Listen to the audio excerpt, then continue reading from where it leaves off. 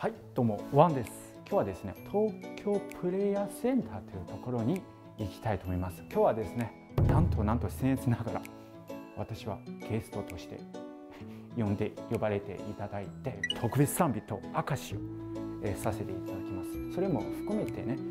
取材も、えー、していきたいと思います。それでは皆さん東京プレイヤーセンター一緒に参りましょう。今日は岡村がいないので一人で行ってまいります。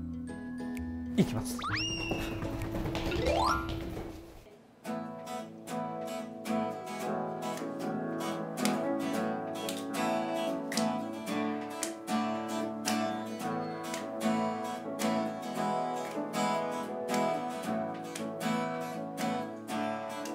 主を褒めます。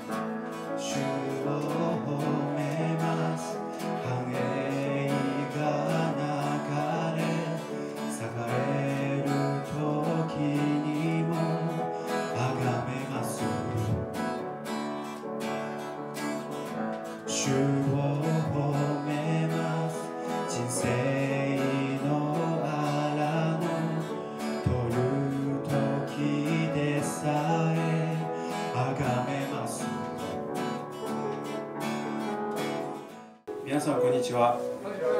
えー命の言葉社の、えー職員、えーゴスペルシンガーのワン・シューマーと申します、えー今日は、えー東京プレイヤーセンターで明かしさせていただくことまた特別賛美、えーさせていただくこと心から、えー感謝しております。私は日本に来て8年間本当に何度も何度もこの賛美によって励まされて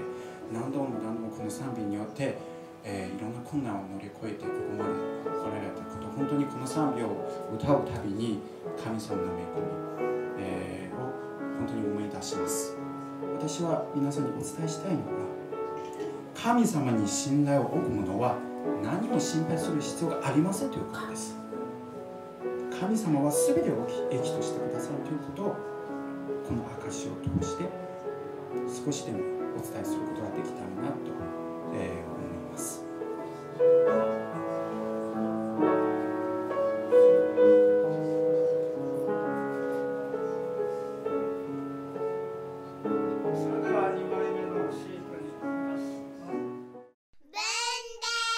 先生あのインタビューを受けていただいてありがとうございます。よろしくお願いします。よろしくお願いします。はい。まず TBC についてあのお伺いしたいんですけれども TBC の働きがどのように始まったのでしょうか？ちょうどあの、えー去年の11月で10年10周年を迎えたんですよね。最初からもうあの礼拝を毎日やろうというようなことでスタートしましたので今日まで一日も休まないで礼拝をやってきてますけどね、はい、一番はとにかく日本とあの世界のリバイバルっていうのが一番大きいわけですよね。でそのためには何をするかということでやはり一番礼拝が大切なので。でもう一つは特に日本はあの教団教派がたくさんあるんであのもうそういう壁をなくそうということで超教派でここはそれに関係なくやっててそれとあとここの部屋が空いてる時はもう皆さんクリスチャンの方々にお貸ししてとにかくみんなが元気になって自分の教会に戻ってそしてあのリバイバルが起きたらいいなということでやってます。サラリーマンをずっと60過ぎまでやっててそして、えークリスチャンになったのは36歳の時でちょっと仕事だとか家庭でちょっとトラブルだとかがあってそれがきっかけであの教会に行ってクリスチャンになりました。はいはい、思ったのは60過ぎてますからねクリスチャンになって40もう40年ぐらい経っててさっき言いましたように一つのキリスト教会に属してると外の教会とも交われないしなかなかクリスチャン同士のつながりができないですよね。で特に例えばカトリックの人なんかとも全然付き合えないし、まあ、そういうことでやっぱりああいう教団教派はただ人間が作ったものだからみんなが手をつないで、えー一緒にね結局そのリバイバルって何ですかって言われた場合に思うんですけどもやっぱりみんなが仲良くクリスチャンが手をつないで元気になることがリバイバルだと思うんですよね。でそのためにはやっぱり教団教派の壁を越えないとどうしようもないんで一応私はある教会には属してるんですけどもそれ以外の時はもうここで毎日礼拝をやってます、はい。多分今までこういう働きの中で、まあ、挫折とかもある、まあ、辛かったこととか、困難だとかそういうことをどういうことがありましたかって聞かれることがあるんですけども何もないんですよね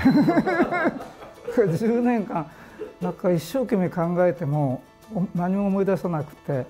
逆にあの一番楽しい人生をね送らせてもらってるなと思っててクリスチャンにとって礼拝が一番大事だなっていうのは本当に教えられてきてるんですよね。でそれを毎日神様にお捧げできてて本当にこれ以上の喜びがないんじゃないかっていうような感じですよね。それで、ね、あえてちょっと困るというか悩みというかそれはですねこの働きが何の役に立ってんだろうって時々思うんですよね。直接あの伝道してるわけじゃないじゃないですかクリスチャンの方々が来てもらって礼拝をしてだから神様がね全世界に出て行ってどうのこうのって書いてるでしょそれとちょっと離れてるんでただ自分のあの趣味っていうか、ね、それでやってるんじゃないかといやと思うんですよ。でそういう時にやっぱりいろいろな方を神様が使わせてくださってこの働きのね重要性だとかを教えてくれるんですよ。と最初の頃これ始まった頃はあの知ってる先生がほとんどいないからもう誰にメッセージしてもらおうかなっていうことで我々がだから代わり番組やってたんですよね。ところがある先生に頼みたいなと思ったらその次の日ぐらいにその先生が訪ねてきてくれるんですよ。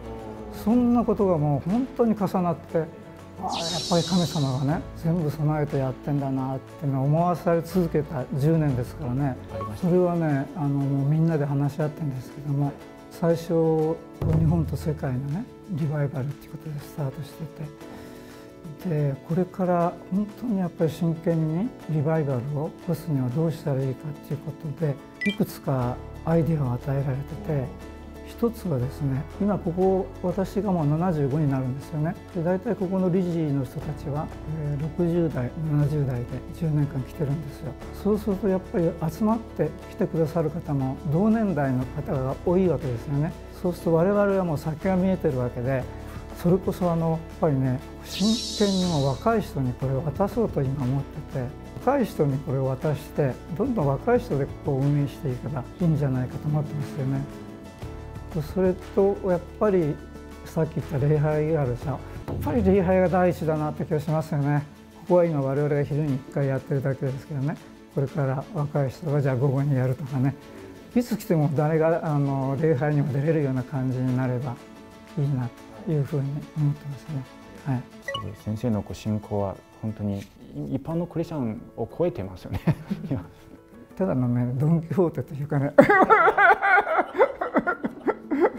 好きなこと言ってるだけで。だけどやっぱり一番ありがたいのは毎日礼拝やるでしょ。人がね本当に変えられてくるのが分かるんですよ。で例えばここはね心に病を持ってたりね教会になかなか行けない人がここを見つけて訪ねてくるんですよ。で我々それは名前も知らないしね。基本的に誰の名前も聞かないしそういう人が何回こう来てるでしょ。うだんだん元気になっていくんですよね。我々はもう本当に10年間やってても名前の知らない人の方がほとんどですよね。下手に話しかけないし。だからそうしてそういう人が何人も来ればお互い友達になるじゃないですか。それでこうみんな元気に元気になって。でそれ何よりも私が家内にね「お父さん変わりましたね」って言われるから 多分変わったんですよ。本当に精霊ですよね。だけどここに来たらねあ我々は何も考えなくていいんだっていうのが分かってそういう深いとか長いとかねそれも神様が考えると聖書に書いてるじゃないですか。我々がそんなことを一生懸命考えとってそれも時間の無駄だから朝起きたら本当にね神様今日は何をしましょうかで本当にそれだけですよ。そういうふうでなんとなくこう明るくなったんで変わったって言ってくれてるんじゃないでしょうかね。朝起きてからね寝るまで TPC のことだけですよ。サラリーマンをねやってた時はよく付き合いでゴルフをやったりねお酒を飲んだりね麻雀とかあるじゃないですか。TPC をやりだしたこの10年っていうのはねそれ以上に楽しいものがないから朝起きてあ今日は神様何をするのかなでここに来てここに来てる人と話してあと家に帰って残ってる仕事をしたりそこも完全に一日終わってだから10年間本当にどこに遊びに行ったっていうのは全然ないですよ。楽しいんですよね。本当にだから好きな釣りもやめちゃったしね。すごいですね。ある御言葉を思い出したんですけど信玄の15章15節心に楽しみのある人は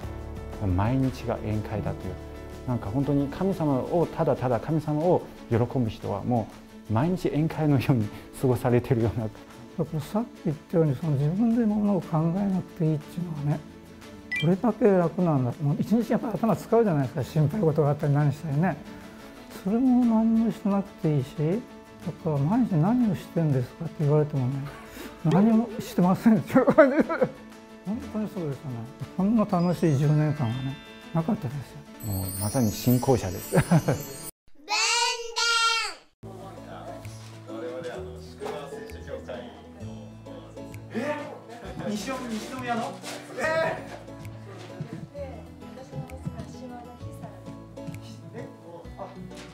ちゃん。い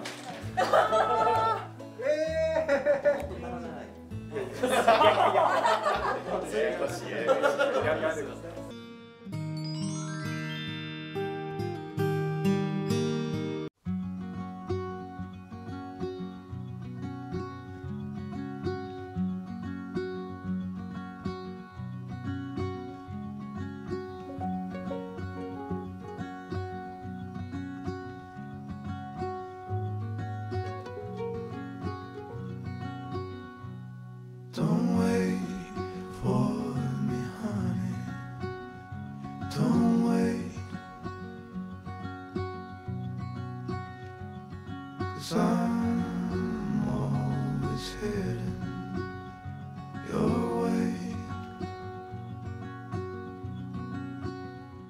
そうそうもう一つねやっぱ真剣にやんなきゃいけないなと思うのはね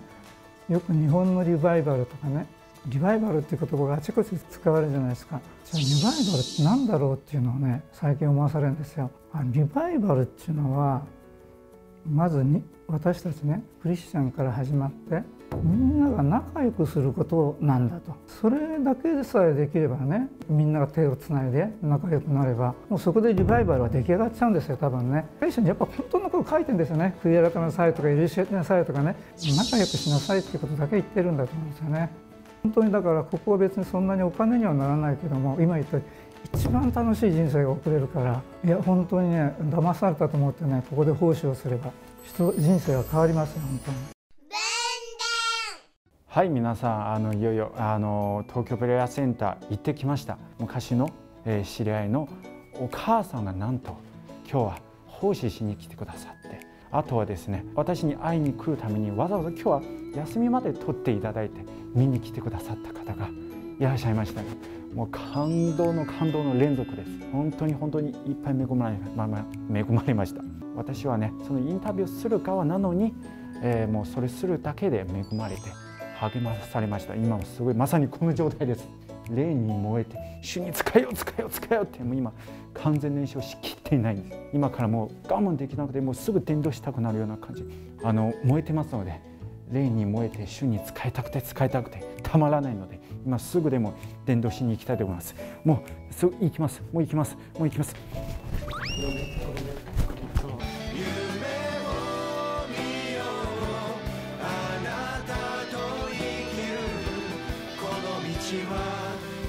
の道